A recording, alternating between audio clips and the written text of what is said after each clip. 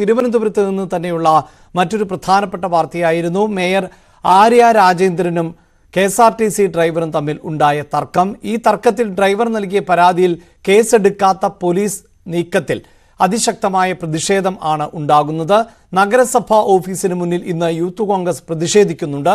K S R T സിയിലെ കോൺഗ്രസ് സംഘടനയും പ്രതിഷേധ സമരങ്ങളിലേക്ക് കടക്കുകയാണ്. വി വി അരുൺ ചേരുന്നുണ്ട് വാർത്തയുടെ വിശദാംശങ്ങളുമായി. അരുൺ ഇതിൽ മേയർ നൽകിയിട്ടുള്ള പരാതിയിന്മേൽ നടപടി ആരംഭിച്ചു എന്ന് വേണമല്ലോ അനുമാനിക്കാൻ. അതുകൊണ്ടാണല്ലോ ഡ്രൈവറോട് ജോലിക്ക് വരേണ്ടതില്ല ജോലിയിൽ നിന്ന് മാറ്റി നിർത്തുന്നു. അതേസമയം മേയർ ഇന്നലെ പറഞ്ഞ ചില കാര്യങ്ങൾ തെറ്റാണ് എന്നത് വ്യക്തമാണ്. വാഹനത്തിന് മുന്നിൽ കാർ കൊണ്ടി കൊണ്ടു നിർത്തുകയും അവിടെ നിന്ന് ഇറങ്ങിയതിന് ശേഷം കാർ മാറ്റി പാർക്ക് ചെയ്യുകയും ഒക്കെയാണ് ചെയ്തത് എന്നതായിരുന്നു മേയറുടെ വാദമെങ്കിൽ അങ്ങനല്ല.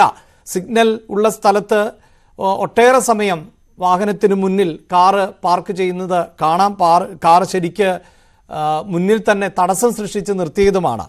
ഇതിലിപ്പോൾ സ്വാഭാവികമായും രണ്ടിലും നടപടി ഉണ്ടാകേണ്ടതാണ്. ആ, ഒരു പക്ഷേ അശ്ലീല പരാമർശം നടത്തിയെങ്കിൽ അതാണ് കൂടുതൽ ഗൗരവമുള്ളത്. പക്ഷേ നമ്മുടെ നിയമ സംവിധാനങ്ങൾ അനുസരിച്ച് ഇങ്ങനെയല്ലല്ലോ അതിനെ ചോദ്യം ചെയ്യേണ്ടത് എന്ന നിരീക്ഷണം പല ഭാഗങ്ങളിൽ നിന്ന് ഉയരുന്നുണ്ട്. അപ്പോൾ ഡ്രൈവറുടെ പരാതിയിൽ നടപടി ഉണ്ടാകാത്ത സാഹചര്യം തുടരുമോ? ഏത് തരത്തിലാണ് കോൺഗ്രസ് ഉൾപ്പെടെ ഈ വിഷയത്തിൽ പ്രതിഷേധവുമായി രംഗത്ത് വരുന്നത്? അഭിലാഷ് ഒരു കാര്യം ഉറപ്പാണ്. ഈ വിഷയത്തിന്റെ ശരിതെറ്റുകൾ എന്തായാലും മേയർക്കെതിരെ തന്നെയാണ് സംസ്ഥാന സർക്കാർ. ഇന്നലെ സി പി സംസ്ഥാന സെക്രട്ടറി അത് വ്യക്തമാക്കിയതാണ്. മേയറുടെ ഭാഗത്ത് ഒരു വീഴ്ചയും ഉണ്ടായിട്ടില്ല. സ്വാഭാവികമായും ഇത്തരം വാഹനം തെറ്റായി ഓടിക്കുമ്പോൾ അപകടകരമായി ഓടിക്കുമ്പോൾ എതിർപ്പുകൾ ഉണ്ടാകാം അതിനപ്പുറത്തേക്കൊന്നും ഉണ്ടായിട്ട വിവരത്തിന് സംസ്ഥാന സർക്കാരും സി പി എമ്മും ഒക്കെയാണ് അതുകൊണ്ട് തന്നെ മേയർക്കെതിരെ നടപടി ഉണ്ടാകാൻ സാധ്യതയില്ല. അതുകൊണ്ടാണ് മേയർക്കെതിരെയുള്ള പരാതിയിൽ ഇതുവരെയും പോലീസ് കേസെടുക്കാത്തത്. സ്വാഭാവികമായും കേസെടുക്കണമെങ്കിൽ ഡ്രൈവറുടെ പരാതി പ്രകാരം കേസെടുക്കണമെങ്കിൽ അത് K S R T C വാഹനം തടഞ്ഞു നിർത്തി. സർവീസ് മുടക്കി എന്ന പരാതിയാണ്. കെ എസ് ആർ ടി സിക്കെതിരെയുള്ള അത്തരം നടപടികൾ ക്രിമിനൽ ഒഫൻസാണ് ക്രിമിനൽ കുറ്റമാണ്. മേയർക്കെതിരെ ക്രിമിനൽ കുറ്റത്തിന് കേസെടുക്കേണ്ടി വരും.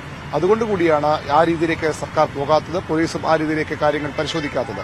മേയറും അതുപോലെ തന്നെ ഡ്രൈവറും ഉന്നയിക്കുന്ന ആരോപണങ്ങളിൽ പരസ്പരം ഉന്നയിക്കുന്ന ആരോപണങ്ങളിൽ തെളിവുകൾ സി സി ടി വിയിൽ നടക്ക ലഭിക്കേണ്ടതുണ്ട്. K S R T C ബസ്സിനുള്ളിൽ തന്നെ ഈ ഈ വിവാദത്തിൽപ്പെട്ട ഡ്രൈവർ ഓടിച്ച ബസ്സിനുള്ളിൽ നിന്ന് തന്നെ ദൃശ്യങ്ങൾ ശേഖരിക്കാം. അത്തരം നടപടികളിലേക്കും പോലീസ് വൈകാതെ കടന്നേക്കുമെന്നറിയുന്നു. അതിനപ്പുറത്തേക്ക് മേയർക്കെതിരെ ഉടനൊരു കേസെടുക്കാനോ നടപടിയിലേക്ക് പോകാനോ സാധ്യതയില്ല. ഡ്രൈവറെ ജോലിയിൽ നിന്ന് മാറ്റുന്നത് അദ്ദേഹം താൽക്കാലിക ജോലിക്കാർ ജോലിയുള്ള ആളാണ്. സ്ഥിരം ജോലിക്കാരന്റെ K S R T C അദ്ദേഹത്തെ ഇന്നലെ മുതൽ വാഹനം ഓടിക്കുന്നതിൽ നിന്ന് മാറ്റി നിർത്തിയിട്ടുണ്ട്.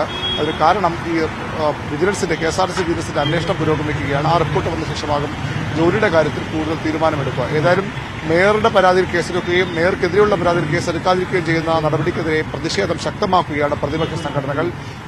കെ എസ് ആർ ടി സിയിലെ ജീവനക്കാരുടെ സംഘടന കോൺഗ്രസ് സംഘടന ടി ഡി എഫ് വിഷയം ഏറ്റെടുത്തു കഴിഞ്ഞു. ടി ഡി എഫിന്റെ കൂടി ഇടപെട്ട ഭാഗമായാണ് പരാതിയുമായി മുന്നോട്ട് പോകാനും യദു തീരുമാനിച്ചതെന്നാണ് ലഭിക്കുന്ന വിവരം. ഏതായാലും കൂടുതൽ പ്രതിഷേധം ഇന്നുണ്ടാകും യൂത്ത് കോൺഗ്രസ് മേയറുടെ ഓഫീസിന് മുന്നിൽ ഇന്ന് പ്രതിഷേധിക്കുകയാണ്. നോ പാർക്ക് നോ ഓവർടേക്കിംഗ് എന്ന ഫ്ലക്സുകളുമായി അവിടെ പ്രതിഷേധിക്കാനാണ് തീരുമാനം.